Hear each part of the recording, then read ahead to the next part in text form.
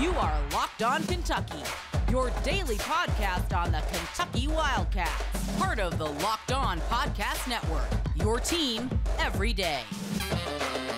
All right, what's going on, Big Blue Nation? Welcome on in to Locked On Kentucky, your daily Kentucky Wildcats podcast. I'm your host, Lance Dawe, writer for USA Today for various SEC related things. But on this podcast specifically, we take a dive into all things Kentucky athletics. So we were not able to get up a recap of Texas A&M versus Kentucky on yesterday's show. We had a full preview of Auburn versus Kentucky on today's episode. We're going to do do a little bit of a hodgepodge. We're going to talk about Kentucky versus versus Texas A&M here for a minute. Then we're going to talk SEC basketball power rankings that I put together here uh, for you guys. And then to wrap things up, we are going to talk a little bit more Auburn and Kentucky just to give some final thoughts on that. Thank you so much for making Locked On Kentucky your first listen every single day. I want to remind everybody that we are free and available on all podcast platforms.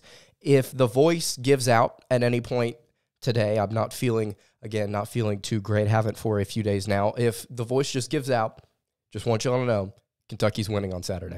All right, so let's go ahead and get into it. Recapping Kentucky versus Texas A&M. I said on the preview show that Sahvir Wheeler was going to be the MVP of the game. I said that I thought he was going to play very well, not only scoring for himself, but distributing the basketball. And I could not have been more wrong. While he did lead the team in points with 12, Shows you how fun of a game it was. Um, he had eight turnovers. He had eight turnovers to four assists, and those eight turnovers were the worst of his career in a single game. And early on, it was the trap, it was the pressure that Texas A&M was applying to the Wildcats that was really frustrating Sahvir Wheeler. It's almost like Kentucky had never seen it before. It's like they'd never seen ball pressure even though they've already played two teams in Tennessee and LSU that really know how to put a strain on your guards. So it was confusing. I also said on the show that it's not like Kentucky's not seen anything like this before in terms of what Texas A&M brings to the table defensively. Uh, apparently, I was dead wrong on that because Kentucky only scored 64 points. Now they won the game 64 to 58, but it was not um, as uh, much of an offensive explosion that I thought that Kentucky would have had, especially after just scoring 107 points against the second best team in the country, at least defensively. And so I thought that Sahvir Wheeler and the guard play was going to be good in this game. It was not great from Sahvir Wheeler. Uh, we got a relatively poor night from TyTy Washington as well. He was three of ten from the field. Uh, did not make his one three that he took was two of four from the free throw line, which is uncharacteristic. Uh, had four rebounds, an assist, and a, a steal, uh, and only, only eight points total. Uh, for TyTy Washington. Kellan Grady, one of nine from three, two of 10 from the floor, only had five points on the day. So Kentucky's three guards did not play well in this game. And Kentucky really, really struggled to shoot the three ball, four of 18 from three. That's about 23% uh, from beyond the arc. And this was kind of shaping up, or at least it looked like it was going to shape up, very similar to way that the Notre Dame Kentucky game played out. Except what happened in that game is Notre Dame actually shot just a little bit better than Kentucky, and they ended up winning the basketball game. Texas A&M only managed to score 58 points. Now, how did A&M only manage to score 58 points, even though we broke down their metrics and we, we realized this is a really good team efficiency wise on the offensive end? They shoot a high clip from the floor, they shoot a very high clip from three, best in the SEC. So, what happened? Well, we noted that they were the best three point shooting team in the SEC, not by volume, but by what they actually knocked down by percentage. Texas A&M was one of 22 from three against the Wildcats. One of 22. That's good for 4.5%. 4.5% from three. And that will cost you a game. That will cost you a game. Remember how I said one of my parameters was you have to protect the rim? Well, you also kind of have to protect the three point line too, as well. It's important, not as important as protecting the rim, in my opinion. And Texas A&M just simply couldn't knock down shots. Kentucky was playing well on the defensive end, and at times there were looks and A&M just simply could not knock it down. Even when they got to the rim, there were looks that they just simply could not put in. Very, very tough day on the offensive end for the Texas A&M Aggies. And look, I think that this Kentucky defense is good. I think they do things well. But there were moments in this game where it's like Kentucky, or excuse me, Texas A&M is just having a cold night. There's cold from the floor. That was just simply what it was, in my opinion. Oscar Tshiebwe, uh, for the second straight game in a row was a non-factor in a victory, at least scoring the basketball. Only put up five shots, was two of five from the floor, had 14 rebounds and eight points, three steals and three blocks uh, to go along with those numbers. So it wasn't a bad day for Oscar Tshiebwe. It wasn't a terrible day. It was just underneath his average in terms of, you know, the, the amount of shots that he normally puts up. Kentucky only shot 58 times in this game, which is weird. It was just an uncharacteristic night. It also uh, something that was really confusing was the turnovers. Again, eight from Sahvir Wheeler, 17 total on the day. Had Wheeler not had those eight turners, turnovers, how he had had he had like four or something, it would have been like, oh, 13, 14 turnovers on the road. Who cares, right? That like that's just going to happen against a team that's good defensively.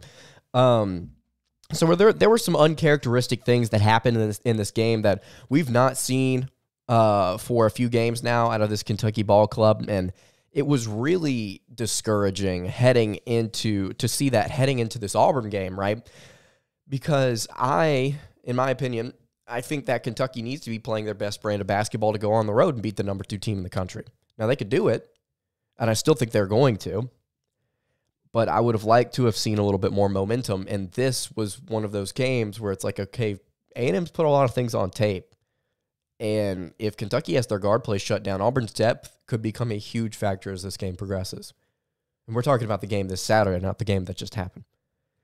So all, all in all, I think it was a great defensive performance from the Wildcats. And then at times it was just A&M's just cold.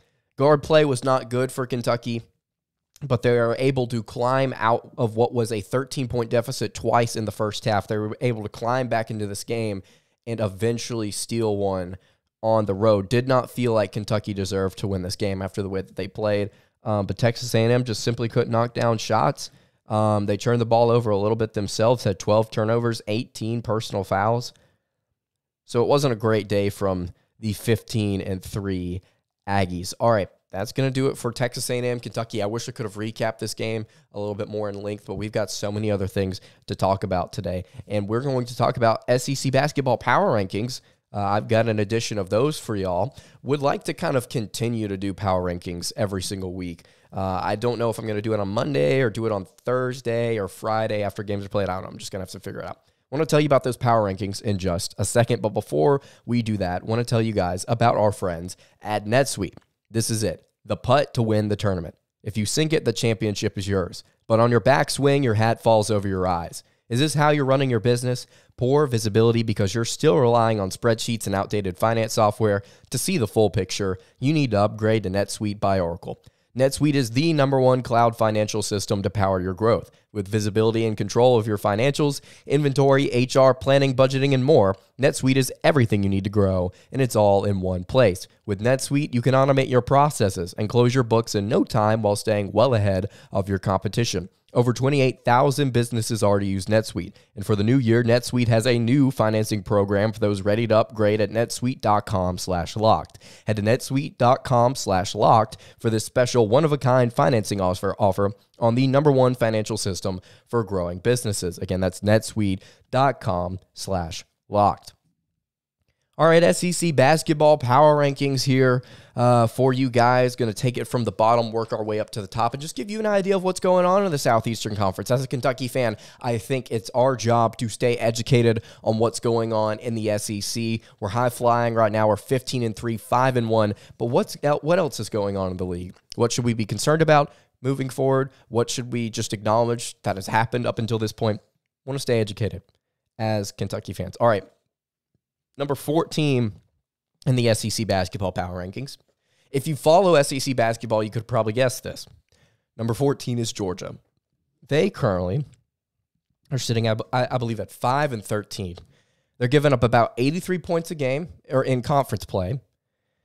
And they have just simply fallen off the rails. The fact that Tom Crean still is is coaching to me is uh, is surprising. I thought they were going to let him go during the offseason, but they're trying to stick it out with him, trying to see if they can turn things around. But this Georgia Bulldogs program is is just simply not in a good spot. But hey, they beat number 18 Memphis. They can hang their hats on that. At number 13, I have Ole Miss. Uh, Ole Miss is currently nine and eight, one and four in the SEC. Uh, not playing great basketball right now. They've lost three straight. Lost to uh, Texas A&M, lost to Auburn at home. Gave Auburn a run for their money, and um, then they lost in a in blowout fashion. Uh, fashion against uh, Missouri. It's so weird that they shot so well against Auburn and for about 30 minutes, uh, and then they just fell apart at home against Missouri. And we pull up the box score real quick. They shot 34% from the floor and 27% from three. Yeah, that's just simply not going to cut it. Also, the Rebels averaging 61.2 points per game in conference play. At number 12 in the power rankings, I have Missouri. Missouri has been a really interesting team uh, to me this season. They've been up, they've been down, they've beaten uh, semi decent teams, and then they've just gotten straight up blown out uh, in other in other contests. They are currently eight and nine, two and three overall in the SEC. So they beat Alabama, dropped 92 points on the Crimson Tide, uh, and then they lost to Arkansas and scored 43 the next game. Then they lost to Texas A&M by three. That was a very close game, 64-67. And then they got then they went and on the road blew out Ole Miss. It's so weird just to see the ups and the downs and the ups and the downs from from Missouri. And I'm curious to see if they finish with a record above 500. At number 11 in my SEC power rankings, South Carolina 10 and 7, 1 and 4 in the SEC. Frank Martin and co. have lost 3 straight against pretty decent opponents. Number 22 Tennessee at the time, uh, they were at home against Florida, lost that game by 8 and then they went on the road and lost by 16 to an Arkansas squad that is on the move right now after starting uh, er, after there was a stretch early on in the season when they lost like five of six. It was something crazy like that. So number 11, South Carolina. At number 10, I have Vanderbilt 10 and 7, 2 and 3 in conference play. They beat Georgia on the road 73 to 66 and then lost a close, hard-fought game to the Volunteers at home. Uh, the Tennessee Volunteers at home 60 to 68 uh, was a really tough loss after keeping that game close for so long. Just uh, in that game, I believe they didn't make their free throws down the stretch, and that's really what came back to haunt them. At number nine, I have Alabama. And some people out there, I'm not going to name them, are still ranking Alabama in their AP poll, poll ballots. I'm just going to say this team was 11 and 6, 12 and 6. I don't think that while they may have played a very difficult strength of schedule, um, losing three straight uh, does not constitute uh, staying in the top 25 at, at 12 and 6. But hey, they beat LSU. They beat LSU, who is sliding right now. Uh, so good for Alabama. At number eight in my SEC basketball power rankings, I have Florida, 11 and 6, 2 and 3 on the year. Florida is one of those teams where now I think it's just consistently they're going to finish like 19 and 14, 20 and 13, somewhere around there every single year. They're going to be a 10 seed or a 7 seed in the in the NCAA tournament. That that's just that's just going to be what they are. They're a first round exit, they're a round of 32 exit. Uh, that's just simply what they are at this point. They've won two games in a row after starting conference play 0 and 3. Uh, not surprised. They played three straight ranked teams, so nothing that Florida could have really done other than just play their hearts out. And they played relatively competitively in all three of those games, but they've just beaten South Carolina and Mississippi State, two relatively uh, decent wins there. At number seven, I have Mississippi State, 12 and 5, 3 and 2 in SEC play. They beat Alabama, and then they went on the road and lost to Florida. A very lengthy team that the Bulldogs have. Number six, Tennessee, 3 and 3, 12 and 5. Lost to Kentucky, as you may know. And then they went on the road and got a close win over the Vanderbilt Commodores. Number five, Arkansas. Uh, this is a team, like I mentioned, that was playing awful. They lost to this was the stretch. They lost to Oklahoma, lost to Hofstra, uh, beat Elon, lost to Mississippi State, lost to Vanderbilt, lost to Texas A&M. Since that stretch, they've won three straight. They beat Missouri, they beat LSU, and they've beaten South Carolina uh, as of late. That was their most recent game. Number four, LSU, 15 and 3, 3 and 3 in the SEC. Now, this is a team that is still not out of the SEC title race, but they're going to have to pick it up. Losing two straight for uh, for the Tigers was not good. Losing at home to Arkansas and then losing on the road to Alabama, that's just that's really really tough. At number three, I have Texas A&M. Uh, I think that Texas A&M has a little bit more mental, momentum than LSU does right now. Um, Texas A&M, I think, is going going to be an interesting team to figure out as the schedule progresses because they have an incredibly weak uh, SOS. I believe it's somewhere in the 270s, if I'm not mistaken. And they're going to have to play some tough teams Arkansas, LSU, Tennessee, LSU again, Auburn, Florida. Uh, Ole Miss on the road, Alabama, Mississippi State. I mean, they've got some things they, they're gonna they're gonna figure out here. At number two, I have Kentucky, and number one, I have Auburn. And these two teams right now are playing the best basketball in the Southeastern Conference, in my opinion, and they play this Saturday. It's going to be a fascinating game to watch. I'm really looking forward to it. Let's go ahead and get to this Kentucky Auburn preview. Going to talk about what the Wildcats and the Tigers are going to be doing on Saturday. But before we do that, want to tell you guys about our friends at BetOnline. BetOnline would like to wish you a happy new betting year as we continue our march through the playoffs and beyond. BetOnline remains the number one spot for all the best sports wagering action for 2022 new year and a new updated desktop and mobile website so you can go over and sign up today to receive your 50% welcome bonus on your first deposit. Just use our promo code locked on to get started. From basketball, football, baseball, hockey, boxing, and UFC, right to your favorite Vegas casino games. Don't wait to take advantage of all the amazing offers available for 2022. BetOnline.ag is the fastest and easiest way to wager on all of your favorite sports. BetOnline, where the game starts. NFL playoffs heating up, by the way. I'm really excited to see this race conclude. I'm curious to see who the Super Bowl uh, winner is. Curious to see if the Packers actually get over the hump with Aaron Rodgers, but we'll just have to wait and see. And betonline.ag is going to be a fantastic place for all your sports wagering needs. All right. Excuse me. Been holding that itch in my throat for quite some time in, during this episode. All right. Auburn. Very good team. 17 and 1. Just blew out Georgia by 23 points. The Auburn offense, like we cited on yesterday's episode, quick and diverse. They've got a lot of different players that can shoot a lot of different shots from a lot of different places, scoring over 80 a, 80 a game. They spread the ball around. Uh, they knock down a decent amount of their threes. They rebound. Uh, they knock down their free throws. They're 18th nationally adjusted efficiency.